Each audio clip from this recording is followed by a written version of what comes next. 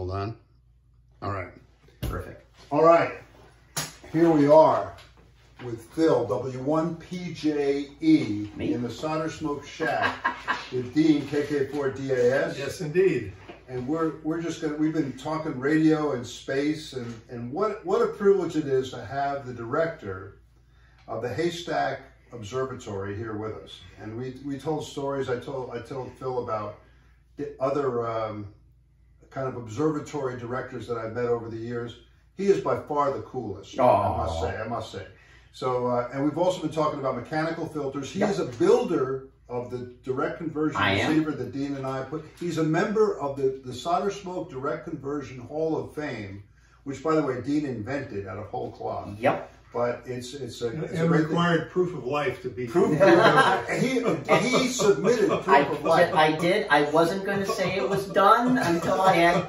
I'm an experimentalist. What can I say? Truth, truth be told, we probably would have inducted him into the Hall of No, Fame, no, even no, without no, the proof of life. No, But he insisted on doing it the right way. You know, that's science. You got to You got to prove what you're doing.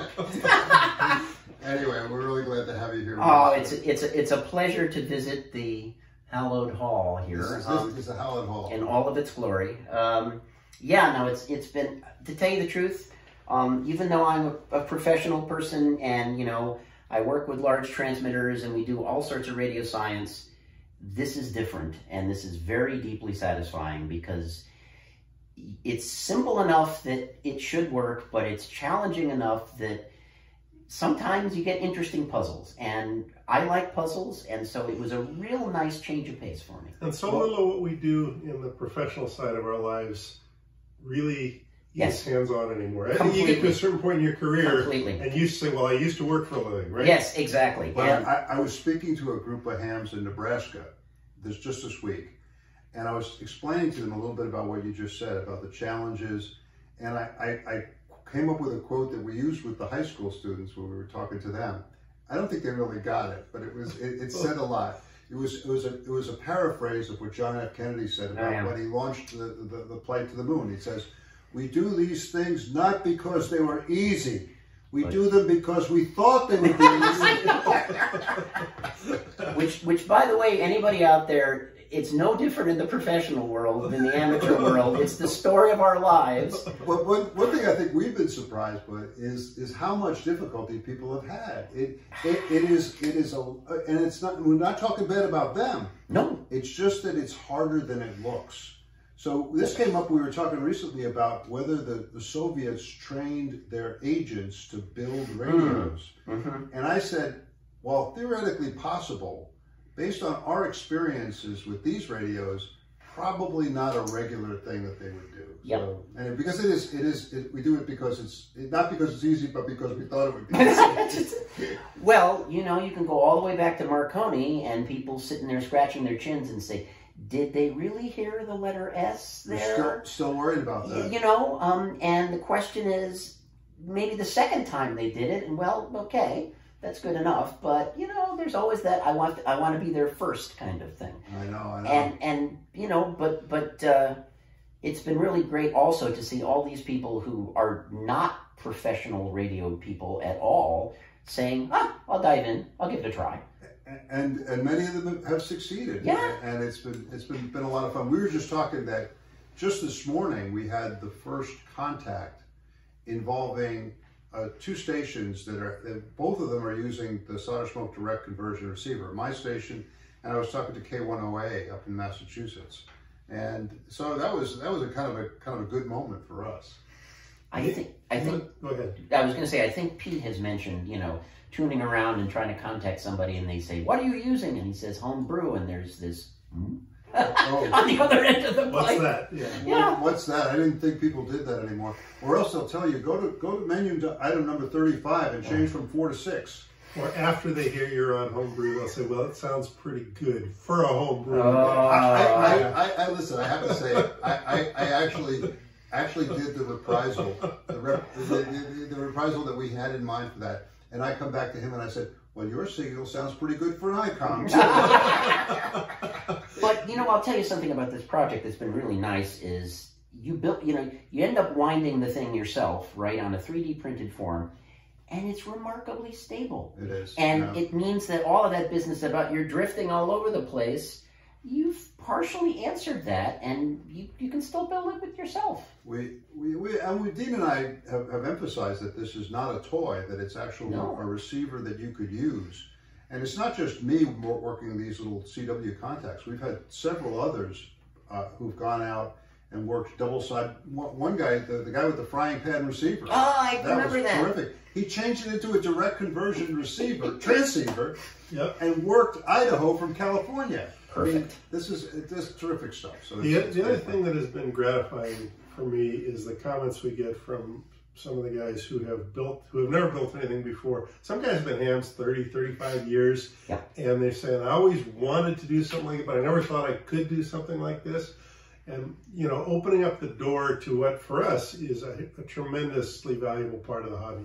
Yeah, and, and also I think it, it's been it's been very gratifying to have people come back and say, I had my doubts about you making this a homebrew project and not a kit, but Right. now I get it. I, I'm really glad that I built this thing instead of just assembling a board and stuffing a board with components. And and since you you're starting from raw elements, you can there there's no like oh I don't know how they put the board together. No, you, you did it yourself. or I don't know what's going on inside the IC because it's it's all discrete transistors. I appreciated that very much, and even the challenge of oh the thing's taking off on me, right? How do I quell that? Well, you learn a lot just from figuring that part out. You learn a lot from that, and not only that, we've told people that even if it was a nice, neat IC chip like an LM386, they take off too. Of course, of course. No, that's been very good, and I, I've noticed on your Discord channel that also, even getting some people though to just say no, just build it like we build it like we designed it first, right, and then go ahead and twiddle and modify. I, I, I, I finally got around when I wrote the getting started page to put a paragraph in there that said, all right, this paragraph is for everybody else, the electrical engineers and the experienced builders out there who are going to tell us there's a more optimized circuit for this, there's a better way of doing that, you can have lower noise that. I said, Bill and I know this, and we don't care. Yes, that's right. We did this on purpose. Again, again, speaking, I was trying to explain the project to the group of hams from, from Nebraska who were really very nice. And I said, look, early on, we got a lot of comments from guys, and they almost always began with the words, you should. Oh yes. and you should use this circuit, you should do that, you should. And we, we came to the conclusion that each one of these suggestions was probably correct. They would probably contribute in some small way to Yep. improving the signal quality from the receiver, but they would vastly increase the, the, the complexity of the, of the of the circuit and make it. We were thinking that when we started it with how are we going to explain this to the high school kids? And it, as soon as you, for example, put in feedback amplifiers, then you got to explain the whole concept of feedback. Yep. And then you just say, forget it, go with the simple, the simple. This is why there are no um, PNP transistors in our, Ah. our circuit. There's only NPNs and one FET. And even that was a question: Should we just put a should we just put an NPN uh, uh, uh, stage Oh, in for the buffer. for the buffer, which we could have, Yeah. we could have, but we decided to go with with with the FET. It gave us a different circuit to talk about to the high school kids. But but even that, it's like all right, we wanted to minimize it as much as possible and still and still make it, it make it sound good. I did point out to one of the guys who was being relentless that um, between Bill and I, and particularly if you add in Pete, Mhm. no one else in the world has built more of these receivers and transceivers than we have combined. You- you- Nobody Yep. and and y- you know so we actually know what we're doing How many times did you guys? How many times did you guess that you've rebuilt this circuit now? oh my gosh well Well, I, I have one here. I have this one here. Right. I, I have one in the Dominican Republic, and I have found remains of two or three here in the shack. Okay. So probably f- four or five. And that's not counting the development process, right? I mean, because then, Yeah. then there's right. After after we got it complete uh, I built one as the as the demonstration. This one that's on the, all the videos that I showed to the high school kids, Yeah. saying this is what we're going to build. Then I built one along with the high school kids, and then I built one along with the Discord group. Sure. That's where my videos came from. Of course. Right? So there's at least three or four of them that I've built since it's, it's, it's been Okay. refined, and and yeah, so you, you end up you do a project like this, you end up you end up having a lot of 40 meter direct conversion receivers. and just just one one reason, one of the other reasons that we told people to build it the way we wanted, the way we had designed it, was was not really out of a sense of, of snottiness on our part. Although there may have been that part of element too. We, we both may, may have had that. With, okay, look, we've been through that. Let's let's do it this way. But also there was a practical element of it too, in that in that it would be impossible for us to kind of coach somebody who had built a receiver that was just radically different. Yeah. And some of the proposals we got early on were pretty radical. It's like, I'm going to build your receiver, but I'm going to build it for a different band. I'm going to use an SI5351 LM386 chip, and uh, the mixer is going to be uh, a Tayloe mixer, but it's going to be yours, okay? We, like, we, we actually did have to tell one or two of the guys that we couldn't help them because they hadn't actually built the receiver that we designed. Yep right? And it's like, I, there's a place for that on the internet, but this wasn't it. Right? the whole point of this was everybody, it's a group project, everybody build the same thing. Yep. That way we can have this dialogue between each other. And the other thing about having everybody build the same circuits is when it comes time to, all right, now it's built, now I want to make it sound better. What do I do? So now there's discussions about, well, do I want an right. audio filter in? Well, we know where to plug the audio filter in because all the circuits are identical, right? So, yeah, yeah.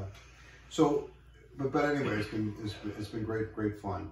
So Phil, tell us a little bit about the Haystack Observatory. Ah, okay. I mean, I really appreciate what the, the kind of historical material that you sent. Right. Back. So some of you have seen on the blog that that our founder, who is still with us, believe it or not, um, he's uh, he's still out there. But uh, yeah, we started life as a, a sort of a development uh, for radar. Um, you know, in the in the days after World War II, when radar was a really critical part of what was going on, the idea was to go to higher and higher frequencies because you could do different things with radars. You could make radars that had narrower beams and had a little bit more fidelity. And at some point, you need a place to put up large antennas and loud transmitters where there wasn't anybody. And so where we are, kind of along Route 495 in, in Massachusetts, and this, this blows people's mind who live in Boston, I said, this is where people came to spend their summers out of Boston. This is where their summer homes were. Route 128, the inner ring road, was had been, was five years old, and Route 495 was somebody's memory 20 years beforehand. So this was a great place to, to go. And we're on a little hill, so we could see to the horizon in either direction. So if you're trying to test a radar that can detect things at long distances, this is a good place to go. So gradually, one radar showed up, and then another one showed up. And what you realize, as with many, many other things, is that when you build something, you can use it for more than one purpose if you understand its capabilities, right? So you may have built this thing to do radar, but if you turn off the transmitter, it's a really good radio astronomy device.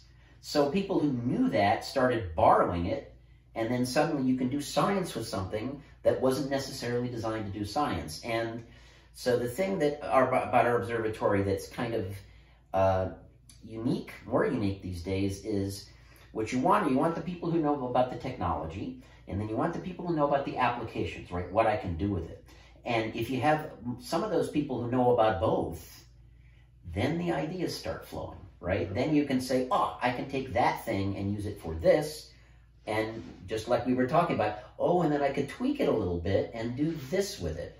And so it becomes a little hub for people kind of designing new things. And the, the other thing I will say is that because radio astronomy and looking at the atmosphere and figuring out what the Earth is doing is, is inherently a global um, enterprise, you can't do it alone. You need to collaborate.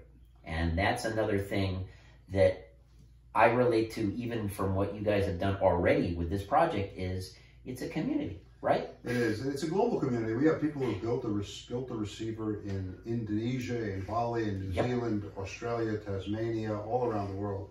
But I gotta say, talking about the dish that you have there, yes. Haystack, I, I put on the blog that before we heard about Haystack, by far our favorite dish in the world was Parkes, the oh, Parkes oh, Radio. Telescope. The dish, the, the, that's right. started its own movie. But I must say, now I, I have my doubts. I'm kind of I'm kind of leaning towards haystack. No money was exchanged for this conclusion. None. Um, And that endorsement is Yeah. something. The Solder Smoke endorsement. I know. I, I'm, I'm going to get a. We're going to need a sign, right? I need to put a brand on the, along with a coffee jar, so that people can throw their their quarters in there. Um, but yeah, it's uh, it's very. Um, it's one of the things. I'll, I'll, one of the other things I'll just mention about.